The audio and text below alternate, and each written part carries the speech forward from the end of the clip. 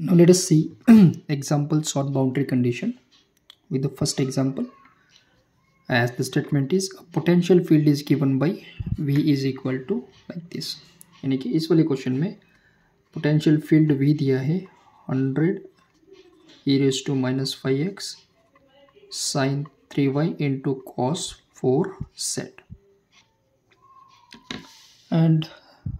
let point P is given Zero point one five by twelve और five by twenty four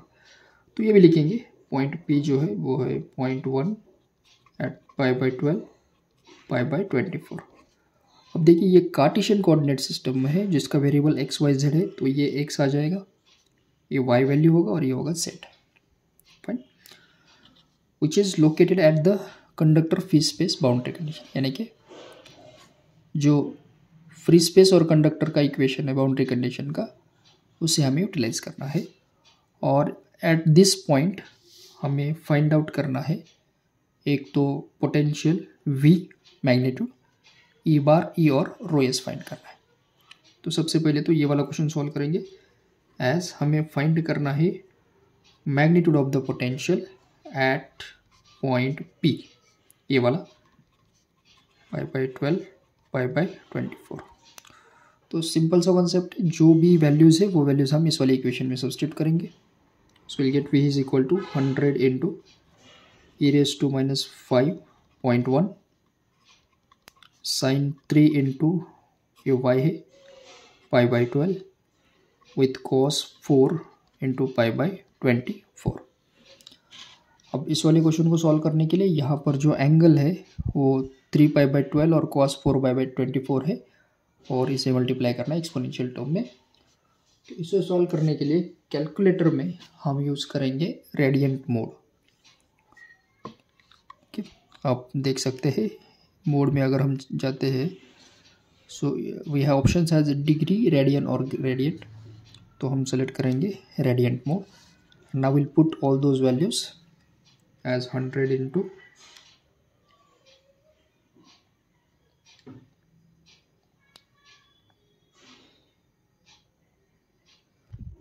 तो ये वाला value हमें मिलेगा thirty seven point one four okay what we did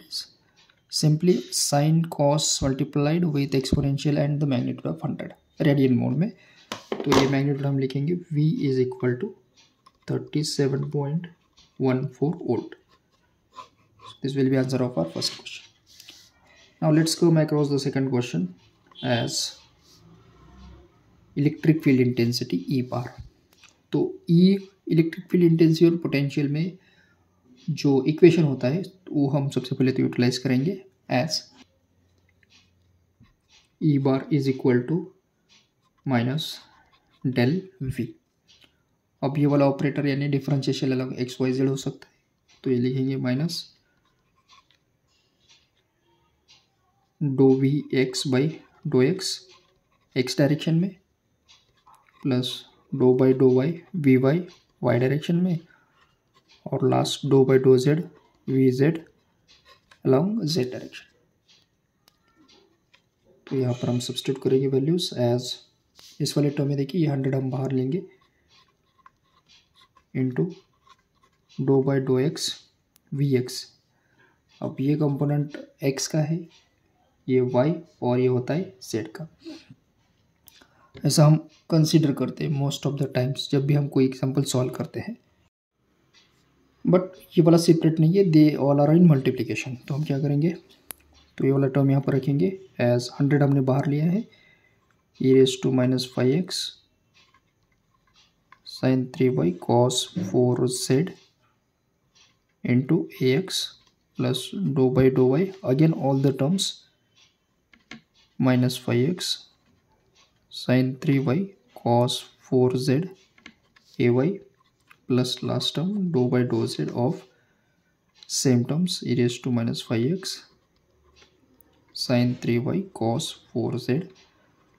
along z direction तो इस वाली equation को डिफ्रेंशिएट करना है एक से तो ये साइन और कॉस तो कांस्टेंट होगा। Will write hundred into first exponential raise to minus five X अगर हम इसको डिफ्रेंशिएट करेंगे विथ रिस्पेक्ट टू एक्स तो ये हमें मिलेगा minus five into E raise to minus five X into remaining terms as it is अब इस वाले टर्म में we to differentiate with respect to Y तो इस वाले टर्म को डिफ्रेंशिएट करेंगे। एक्सपोनेंशियल और कॉस कांस्टेंट होगा। साइन थ्री वाई का डिफ्रेंसिएशन साइन का डिफ्रेंशिएशन थीटा का होता है कॉस थीटा तो यह आ जाएगा cos three Y into three into this term cos four Z A Y as it is plus अब इसे हमें डिफ्रेंशिएट करना है जेड के साथ। तो ये दो term constant A raise to minus five X sine three Y अब कॉस का डिफ्रेंसिएशन होता है माइनस साइन थीटा यानी minus sine four Z into four A Z clear now this will be our electric field intensity along x y और z direction तो इसको सबसे पहले तो हम एट पॉइंट पी के ऊपर फाइंड आउट करेंगे यानी कि एक्स वाई जेड का वैल्यूज़ हम सब्सटीट्यूट करेंगे so we'll write at point P E bar will be equal to minus 100 into minus 5 e raised to minus 5 x का वैल्यू 0.1 है इंटू साइन थ्री वाई है pi by twelve into cos four pi by twenty four along X direction plus ये वाला term E raise to minus five point one three into cos three pi by twelve into cos four pi by 24 along y direction. And in the last case यानी इस वाली case में e raised to minus 5 0.1 sin 3 pi by 12 into four ये वाला term और ये है minus sine four pi by twenty four along Z direction अब अगेन हमें यूज़ करना है radiant mode and we'll find out those values so these are all values that we have calculated i have calculated uh, so this we are getting along x direction y direction और ये मिला है z direction में strictly इसे हमें find out करने के लिए radian mode use करना है अब अगर 100 से multiply करेंगे तो we'll get e bar as multiplication of this will be minus minus plus 185.7 ax ये हो जाएगा minus triple one four A Y minus minus plus eighty five point seven A Z और इलेक्ट्रिक फ़ील्ड इंटेंसिटी का unit होता है volt per metre this is answer of our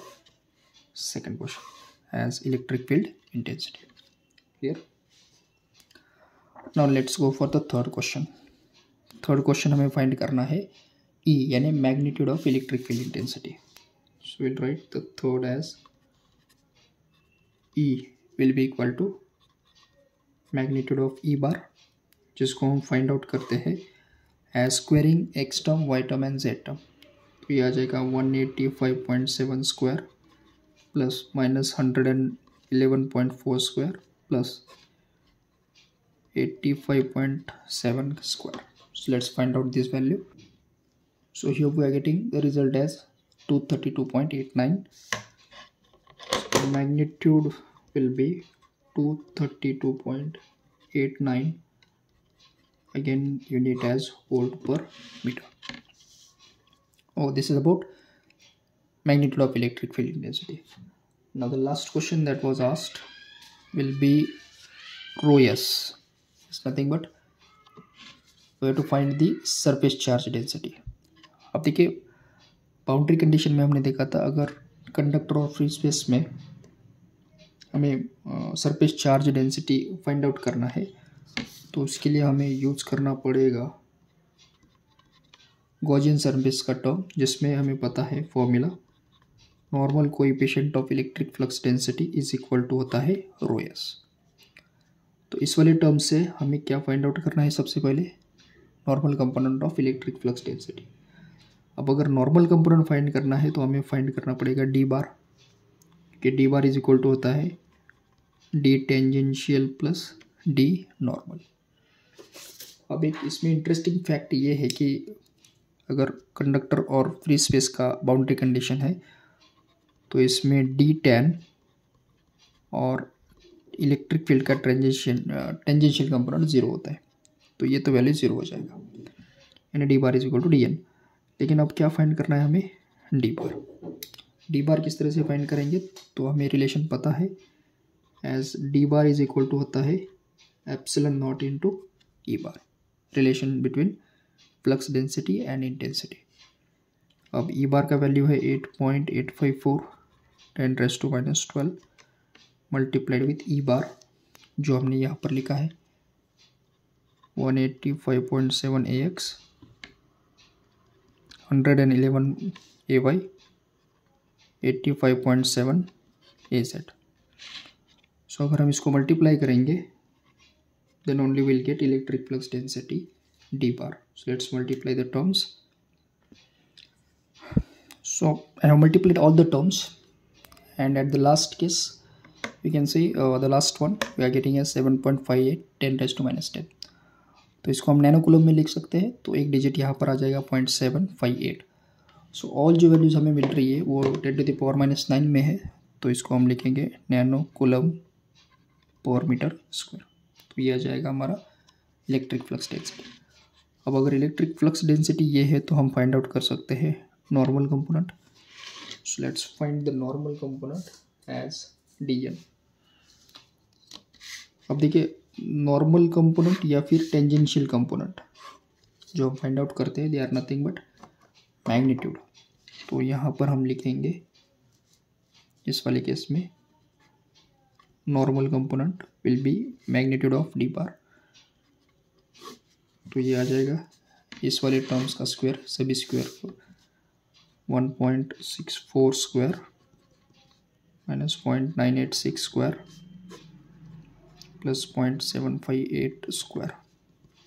so if, if we take square root of all these terms so the result that we are getting will be 2.05 it is normal component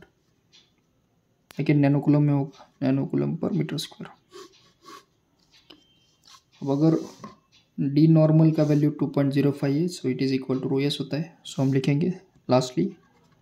as dn is equal to rho s which will be equal to 2.05 nanocoulomb per meter square. So this will be the answer of our last question. Thank you.